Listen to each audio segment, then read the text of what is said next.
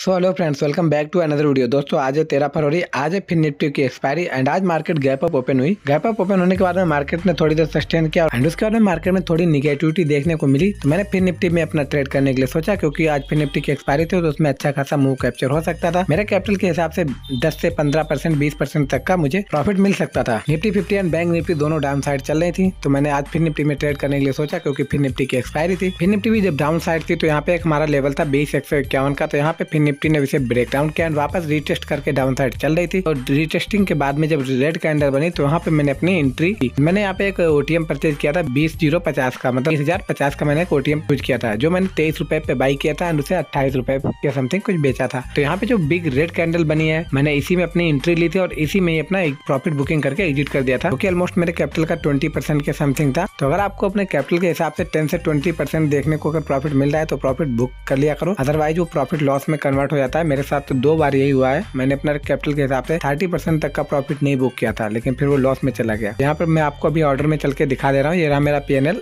तीन सौ छियानवे रुपए का है। पीएनएल चार सौ रुपए का समथिंग हो गया। यहाँ पे मैंने तेईस रुपए, सत्तर पैसे में दो लॉट और यहाँ पे मैंने अट्ठाईस रुपए, पैंसठ पैसे में बेच दी थी। यहाँ पे मुझे ओवरऑल तीन सौ छियानवे रुपए का प्रॉफिट हुआ, जो की मेरे कैपिटल के हिसाब से ट्वेंटी परसेंट है। अगर आपको वीडियो अच्छा लगा हो तो वीडियो को लाइक करके चैनल सब्सक्राइब कर लो। मिलते हैं नए वीडियो में।